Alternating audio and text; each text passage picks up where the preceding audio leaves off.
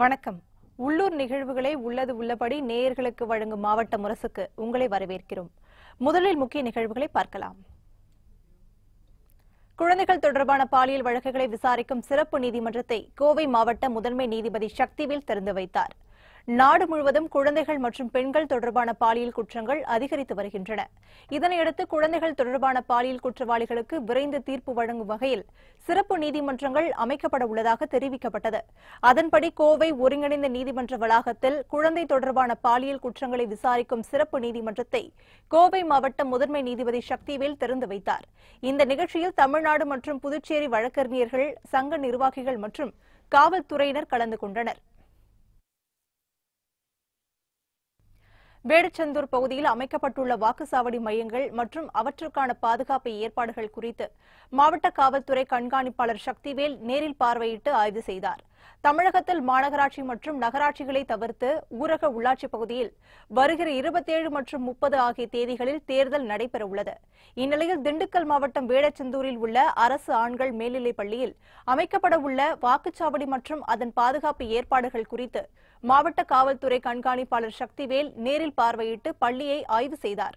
பின்னர் பாதுகாப்பு மற்றும் அடிப்படை வசதிகள் குறித்து அதிகாரிகளிடம் கலந்துரையாடினார். இதேபோல் மாவட்ட ஆட்சித்தலைவர் விஜயலட்சுமியும் வேடஞ்சந்தூர் பகுதியில் ஊரக உள்ளாட்சி தேர்தல் பணியில் ஈடுபட்டுள்ள அதிகாரிகளுக்கான பயிற்சி வகுப்பினை நேரில் சென்று பார்வையிட்டு அவர்களுக்கு ஆலோசனை கூறினார். அறந்தாங்கி அரசு ஆண்கள் மேல்நிலைப் பள்ளியில் புதிதாக கட்டப்பட்டு வரும் பள்ளி கட்டடத்தின் பக்கவாட்டு சுவர் இடிந்து விழுந்து சேதமாகியது. புதுக்கோட்டை மாவட்டம் அறந்தாங்கி அரசு ஆண்கள் மேல்நிலைப் பள்ளியில் எட்நூற்று ஐம்பத்தைந்து மாணவர்கள் கல்வி பயின்று வருகின்றனர்.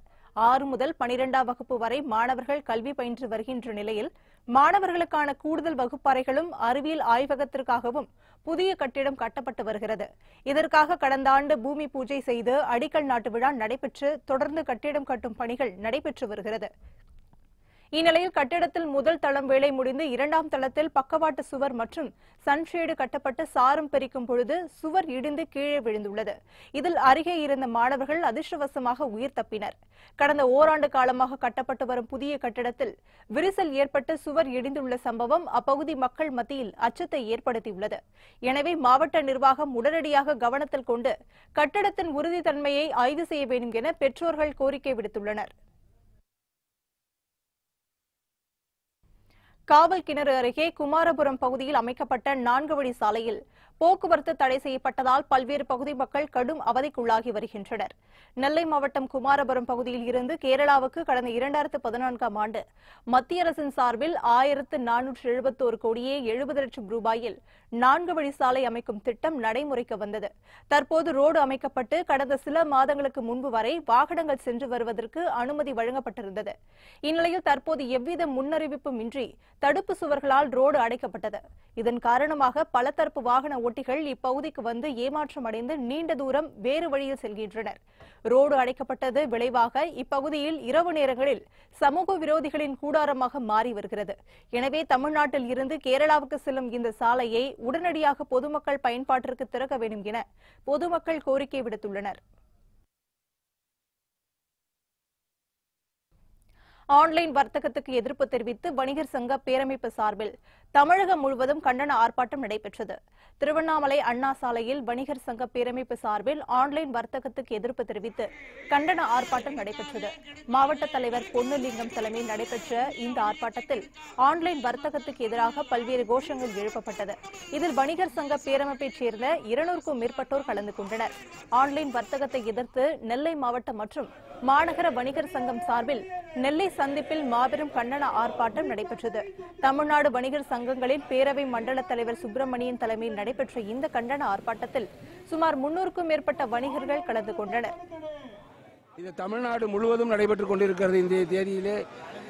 த- தமிழகம் முழுவதும் தமிழ்நாடு வணிகச் சங்கங்களின் பேரமைப்பின் சார்பில் எல்லா மாநிலத்தின் மாவட்டத்தினுடைய தலைநகரங்களிலும் இந்த ஆன்லைன் வர்த்தக சூதாட்டத்தை எதிர்த்து அதை தடை செய்ய வேண்டும். மத்திய மாநில அரசுகள் அதிலே தடை செய்கின்ற நிலையினை ஏற்படுத்த வேண்டும் என்று வேண்டி விரும்பி இந்த ஆர்ப்பாட்டம் நடைபெற்றுக் கொண்டிருக்கிறது.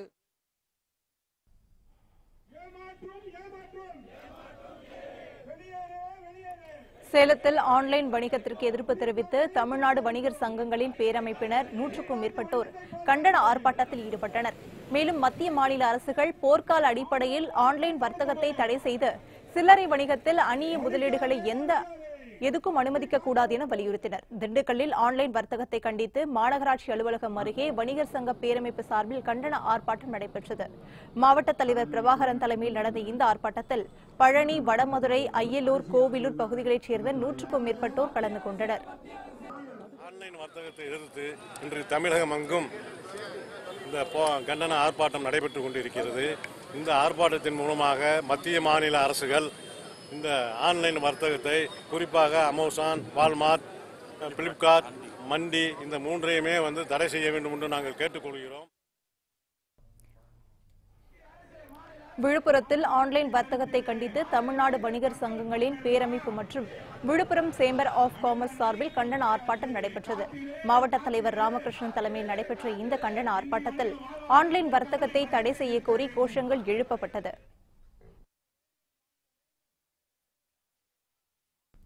சர்க்கரை ஆலை நிர்வாகம் பொங்கல் பண்டிகைக்குள் நிலுவைத் தொகையை வழங்காவிட்டால் சர்க்கரை ஆலைக்கு கரும்புகளை அனுப்பாமல் போராட்டம் நடத்துவது என்று விழுப்புரத்தில் நடைபெற்ற கரும்பு விவசாயிகள் சங்க கூட்டத்தில் தீர்மானிக்கப்பட்டது. விழுப்புரம் மாவட்டம் முண்டியம்பாக்கம் கரும்பு விவசாயிகள் சங்க பேரவைக் கூட்டம். விழுப்புரத்தில் உள்ள கரும்பு விவசாயிகள் சங்க திருமண மண்டபத்தில் நடைபெற்றது. சங்கத் தலைவர் வக்கீல் பாண்டியன் தலைமையில் நடைபெற்ற இந்த கூட்டத்தில் துணைத் தலைவர்கள் கிருஷ்ணதாஸ் தண்டபாணி காத்தவராயன் தேவேந்திரன் நடராஜன் விஜயகுமார் பன்னீர்செல்வம் உள்ளிட்ட ஏராளமான சங்க நிர்வாகிகள் கலந்து கொண்டனர். இந்த கூட்டத்தில் கரும்புக்கான வெட்டுக்கூலி முழுவதையும் ஆலை நிர்வாகமே ஏற்றுக்கொள்ள வேண்டும். விவசாயிகளுக்கு வட்டி இல்லாமல் ஆலை நிர்வாகத்தினர் உரக்கடன் வழங்க வேண்டும் உள்ளிட்ட தீர்மானங்கள் நிறைவேற்றப்பட்டது. மேலும் சர்க்கரை ஆலை நிர்வாகம் பொங்கல் பண்டிகைக்குள் நிலுவைத் தொகையை வழங்காவிட்டால் சர்க்கரை ஆலைக்கு கரும்புகளை அனுப்பாமல் போராட்டம் நடத்துவது என்ற தீர்மானமும் நிறைவேற்றப்பட்டது. சீசனுக்கு உண்டான கரும்பு வெட்டி அனுப்பிய கரும்பு நிலுவைத் தொகையை பொங்கலுக்குள் ஆலய நிர்வாகம் கொடுக்கவில்லை என்றால் கரும்பை வெட்ட மாட்டோம் கரும்பு போட மாட்டோம். விவசாயிகளுடைய பணம் அடையாமல் பணம் பட்டுவடாமல் ஆலையை திறப்பதற்கு நாங்கள் விட மாட்டோம்.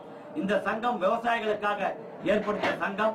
விவசாயிகள் பட்டுவாடா நடைபெற்றால் ஒழிய நாங்கள் ஆலையை திறப்பதற்கு நாங்கள் சம்மதிக்க மாட்டோம் கரும்பு வெட்ட மாட்டோம் என்ற ஒரு உறுதி தீர்மானத்தை நாங்கள் எடுத்திருக்கிறோம்.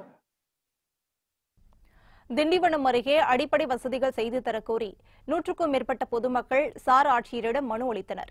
திண்டிவனம் நகராட்சிக்குட்பட்ட தில்லையடி வள்ளியம்மை நகரில் ஐநூறுக்கும் மேற்பட்ட குடும்பங்கள் வசித்து வருகின்றனர். இங்கு குடிநீர் வசதி கழிப்பிட வசதி சாலை வசதி தெருவிளக்கு வசதி உள்ளிட்ட எந்தவித அடிப்படை வசதிகளையும் நகராட்சி நிர்வாகம் செய்து தரவில்லை என கூறப்படுகிறது. மேலும் தெருக்களில் குப்பைகள் அகற்றப்படாமல் நோய் பரவும் அபாயமும் ஏற்பட்டுள்ளது. இதுகுறித்து சம்பந்தப்பட்ட அதிகாரிகளிடம் பலமுறை புகார் அளித்தும் நடவடிக்கை எடுக்காததால் ஆத்திரமடைந்த அப்பகுதி பெண்கள் நூற்றுக்கும் மேற்பட்டோர் திண்டிவனம் சார் ஆட்சியர் அலுவலகத்திற்கு வந்து சார் ஆட்சியர் அணுவிடம் மனு அளித்தனர். சின்ன சேலத்தில் ரஜினி மக்கள் மன்றம் சார்பில் ஆதரவற்ற முதியவர்களுக்கு போர்வை உணவு மற்றும் நலத்திட்ட உதவிகள் வழங்கப்பட்டது. கள்ளக்குறிச்சி மாவட்டத்தில் நடிகர் ரஜினிகாந்தின் பிறந்தநாளை சிறப்பிக்கும் வகையில் தொடர்ந்து மாவட்டங்களில் நலத்திட்ட உதவிகள் வழங்கப்பட்டு வருகின்றன. அதன்படி கள்ளக்குறிச்சி மாவட்டம் சின்னசேலம் வள்ளலார் அன்னதான நினைவு கூடத்தில் ஆதரவற்ற முதியவர்களுக்கு ரஜினி மக்கள் மற்றும் சார்பாக குளிர்கால போர்வைகள் இனிப்புகள் மற்றும் காலை உணவு வழங்கும் விழா நடைபெற்றது. விழாவில் ரஜினி மக்கள் மன்ற கள்ளக்குறிச்சி விழுப்புரம் ஒருங்கிணைந்த மாவட்ட செயலாளர் எத்திராஜ் கலந்து கொண்டு முதியவர்களுக்கு போர்வைகள் மற்றும் அன்னதானம் வழங்கினார். இதில் சின்னசேலம் பேரூராட்சி செயலர் டைகர் பிரபு உள்ளிட்ட ரஜினி மக்கள் மன்ற முக்கிய நிர்வாகிகள் கலந்து கொண்டனர். கஜா புயலால் சேதமடைந்த மரங்களை மீட்டெடுக்கும் வகையில் புதிய மரக்கன்றுகளை நட்டு வளர்க்கும் பணியில் விவசாயிகள் ஈடுபட்டுள்ளனர். நாகை மாவட்டத்தில் சென்ற ஆண்டு வீசிய கஜா புயலால் பல்லாயிரக்கணக்கான தென்னை மற்றும் முந்திரி மரங்கள் சேதமடைந்தன. இதனால் இதை நம்பியிருந்த பல்லாயிரக்கணக்கான குடும்பங்கள் வருவாயை இழந்து தவித்து வந்தனர். இந்த நிலையில் தற்பொழுது நாகப்பட்டினம் மாவட்டம் விழுந்தமாவடி வேட்டைக்காரன்புத்தூர் காமேஸ்வரம் பூவைத்தேடி கோவில்பத்து உள்ளிட்ட பகுதிகளில் சேதமடைந்த மரங்களை அகற்றி தோட்டைக்கலைத்துறை மூலமாகவும் பல்வேறு தன்னார்வ தொண்டு நிறுவனங்கள் மூலமாகவும் புதிய மரங்கள் நடும் பணி மேற்கொள்ளப்பட்டு வருகிறது. விவசாயிகள் சேதமடைந்த மரங்களுக்கு பதிலாக மா தென்னை முந்திரி போன்ற புதிய மரக்கன்றுகளை நட்டு வளர்க்கும் பணியில் ஈடுபட்டு வருகின்றனர். இந்த மரங்கள் காய்ப்புக்கு வர சுமார் மூன்று ஆண்டு முதல் ஐந்து ஆண்டுகள் ஆகும் என விவசாயிகள் நம்பிக்கை தெரிவித்தனர். மீண்டும் மாவட்ட முரசுக்கு உங்களை வரவேற்கிறோம். கும்பகோணத்தில் உள்ள அம்மன் கோயில்களில் ஆண்டு திருவிழா வெகு விமர்சையாக நடைபெற்றது. தஞ்சாவூர் மாவட்டம் கும்பகோணத்தில் மிக பழமையான உச்சினி மகா காளியம்மன் சுந்தரமா காளியம்மன் கோயில் எல்லையம்மன் ஆகிய கோயில்கள் அமைந்துள்ளது. இந்த மூன்று கோவில்களிலும் ஆண்டு திருவிழா கடந்த திங்கட்கிழமை தொடங்கி நடைபெற்று வருகிறது. திருவிழாவின் இரண்டாம் நாளில் சிறப்பு பூஜைகளுக்கு பிறகு மூன்று கோவில்களின் காளியம்மனின் திருநடனம் நடைபெற்றது. பக்தர்கள் சக்திவேல் எடுத்தும் பால்குடங்கள் எடுத்தும் உடலில் அலகு குத்தியும் நேர்த்திக்கடன் செலுத்தினர். இதனைத் தொடர்ந்து இரவு முழுவதும் மூன்று காளியம்மனின் திருநடனம் நகரின் முக்கிய வீதிகளில் நடைபெற்றது.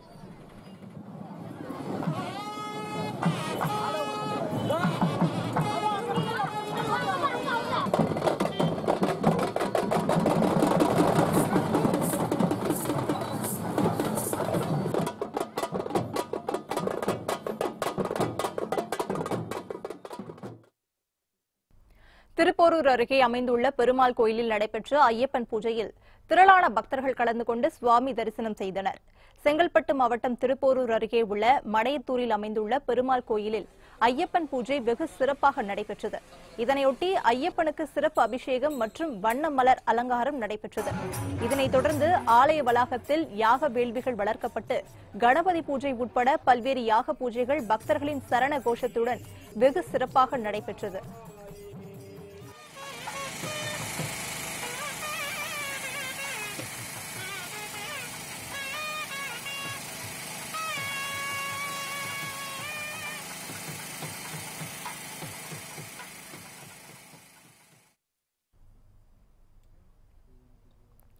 இதனையடுத்து நடைபெற்ற சுவாமியின் வீதி உலாவில் திருவிளக்கு ஏந்தியபடி திரளான பெண்கள் கலந்து கொண்டு ஐயப்பனை வழிபட்டனர்.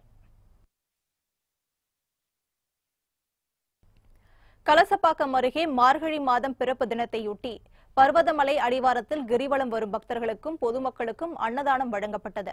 திருவண்ணாமலை மாவட்டம் கலசப்பாக்கம் அடுத்த தென்மகா தேவமங்கல கிராமத்தில் அமைந்துள்ள பர்வதமலை மல்லிகார்ஜுனர் ஸ்ரீ பிரம்மாம்பிகை அம்பாள் மலை அடிவாரத்தில் ஒவ்வொரு ஆண்டும் மார்கழி மாதத்தில் பக்தர்கள் கிரிவலம் செல்வது வழக்கம். இதேபோல் இந்த ஆண்டும் மார்கழி பிறப்பு தினத்தையொட்டி கிரிவலம் மற்றும் பக்தர்களுக்கும் பொதுமக்களுக்கும் கலசப்பாக்கம் இயக்கத்தின் சார்பில் சட்டமன்ற உறுப்பினர் வி. பன்னீர்செல்வம் தலைமையில் அன்னதானங்கள் வழங்கப்பட்டது. போலூர் செங்கம் சாலையில் மலை அடிவாரத்தில் உள்ள அன்னை காளியம்மன் கோவில் அருகே பனிரண்டு வகையான அன்னதானங்களை பன்னீர்செல்வம் எம்எல்ஏ வழங்கினார். மேட்டுப்பாளையத்தில் நடைபெற்று வரும் பனிரெண்டாவது யானைகள் சிறப்பு புத்துணர்வு நல்வாழ்வு முகாமிற்கு புதுச்சேரி யானைகள் இரண்டாக வந்து சேர்ந்தது. தமிழக இந்து சமய அறநிலையத்துறை சார்பில் கோவில் மற்றும் மடங்களைச் சேர்ந்த யானைகளுக்கான பனிரெண்டாவது சிறப்பு நல்வாழ்வு புத்துணர்வு முகாம் மேட்டுப்பாளையம் அருகே உள்ள தேக்கம்பட்டியில் கடந்த பதினைந்தாம் தேதி முதல் தொடங்கி நடைபெற்று வருகிறது. இந்த முகாமில் தமிழகத்தின் பல்வேறு மாவட்டங்களில் இருந்து கோவில் மற்றும் திருமடங்களைச் சேர்ந்த இருபத்தெட்டு யானைகள் கலந்து கொண்டன. இந்த நிலையில் முகாமில் கலந்து கொள்ள சாலை அனுமதி கிடைக்காத காரணத்தால் புதுச்சேரி திருநள்ளாறு தர்ப்பணேஸ்வரர் தேவஸ்தான யானை பிரகிருதி மற்றும் மணக்குள விநாயகர் கோவில் யானை லட்சுமி ஆகிய இரண்டு யானைகள் இன்று முகாமிற்கு வந்து சேர்ந்தது.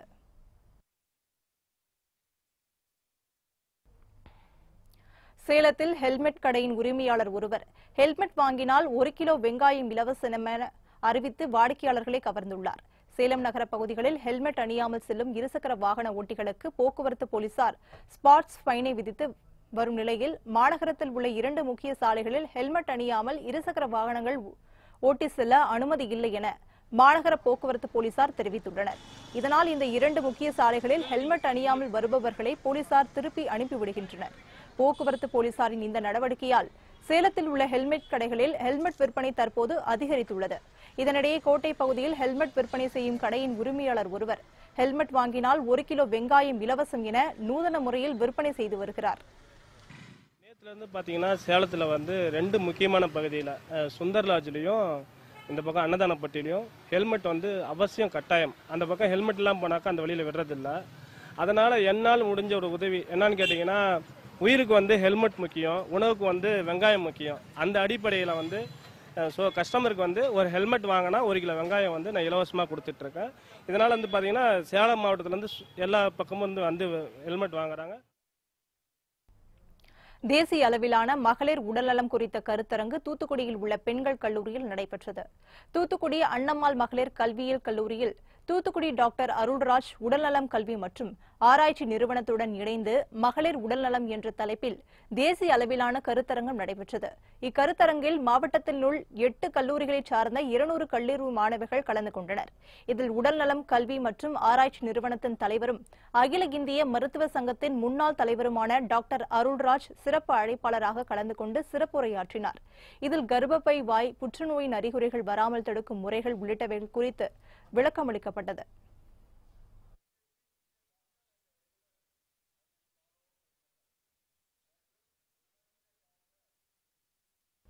மாவட்ட முரசு செய்திகள் இத்துடன் நிறைவடைந்தது. புத்தம் புதிய செய்திகளை உடனுக்குடன் தெரிந்து கொள்ள இணைந்திருங்கள். மாலை முரசு தொலைக்காட்சியுடன். வணக்கம்.